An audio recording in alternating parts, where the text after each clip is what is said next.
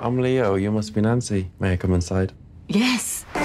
So I've made a list of things that I'd like to get through. Number one, uh, I perform oral sex on you.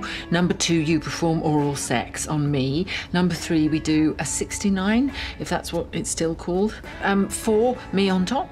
Five, doggy style. That all sounds very achievable. Have I booked enough time? You you want to do it all today? Yes. No. I've never had an orgasm. There are nuns out there with more sexual experience than me. It's embarrassing. Do you want me to brush my teeth? Oh, God. This is crazy. Nancy? It's terrible. It's wrong. Nancy, yes? come have a dance with me. I guess I'm frustrated. Is Leo Grande your real name? Thinking about all the places I should have been by now. No, I simply don't understand why you're doing this. This to save up for college? Oh, how wonderful. Are you really? No. I've always been ashamed of my body. Your body's beautiful. I wish you could see that.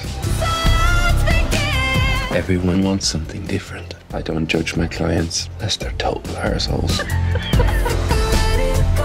I've never done anything interesting in my life. You're the only adventure I've ever had. What's the oldest person you've ever done it with? 82. 82? Yes. 82? Nancy. Okay, I'm feeling a bit better now.